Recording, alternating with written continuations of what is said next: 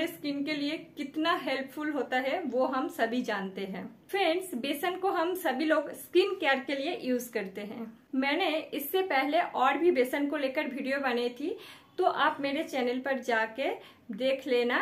उस पे भी आपको बहुत ज़्यादा इन्फॉर्मेशन मिलेगी बेसन के बारे में।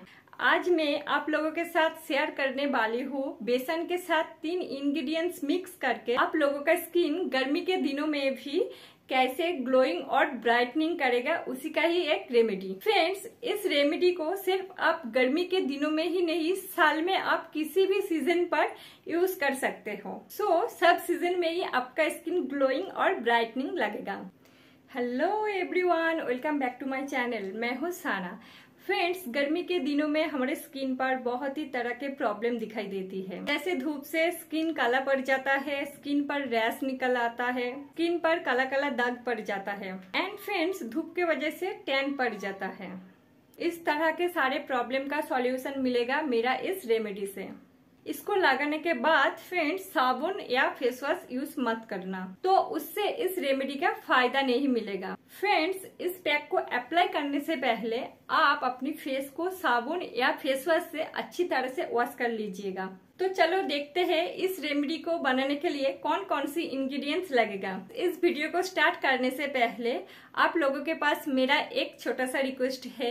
मेरा आज की वीडियो आपको अच्छा लगे तो मेरे वीडियो को एक लाइक करके ऐसे हेल्पफुल वीडियो पाने के लिए आप मेरे चैनल को सब्सक्राइब कर दीजिए। फ्रेंड्स आज का रेमेडी का मेन इंग्रेडिएंट्स है बेसन। तो मैं एक कटोरी पर ले लेती हूँ वन स्पून बेसन। नेक्स्ट ऐड करना होगा थोड़ा सा रोज़ वाटर और ऐड करना होगा वन स्पून रॉ मिल्क या कच्चा दूध। और लास्ट में ऐड करना होगा थोड़ा सा नींबू का रस। अब इन सारे इंग्रेडिएंट्स को मिक्स करके एक स्मूथ पेस्ट बनाना होगा। पैक रेडी हो जाने के बाद उसको फेस और नेक पर अप्लाई करना होगा। तो मेरा पेस्ट रेडी है फेस पर अप्लाई करने के लिए। फ्रेंड्स मैंने लिया था बेसन।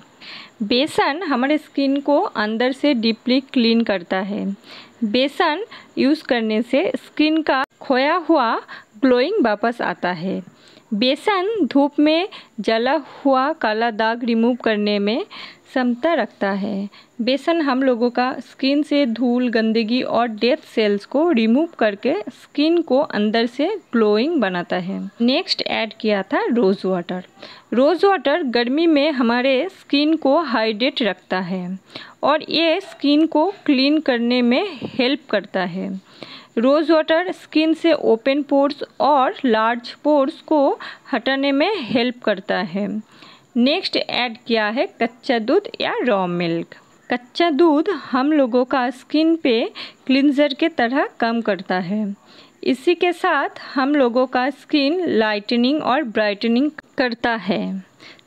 सबसे लास्ट मैंने ऐड किया है नींबू का रस. नींबू का रस में विटामिन सी मौजूद होने के कारण ये हमारे स्किन को काला पड़ने नहीं देता. और टैनिंग पिगमेंटेशन से छुटकारा दिलाता है। फ्रेंड्स इस फेस पैक को अप्लाई करने के बाद 15 से 20 मिनट के लिए छोड़ देना होगा।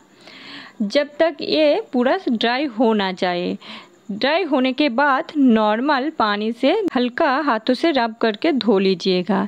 इस रेमेडी को हफ़्ते में तीन से चार दिन यूज़ करना होगा। अगर पॉसिबल हुआ तो हर रोज़ यूज़ कर सकते हो। तो आप देखोगे गर्मी के वजह से आपका स्किन पर जो प्रॉब्लम होता है वो सारे प्रॉब्लम नहीं होगा। सो so, इस रेमेडी को बना के यूज़ करने के बाद उसका रिज़ल्ट कैसा मिला कमेंट में बोलना ज़रूर।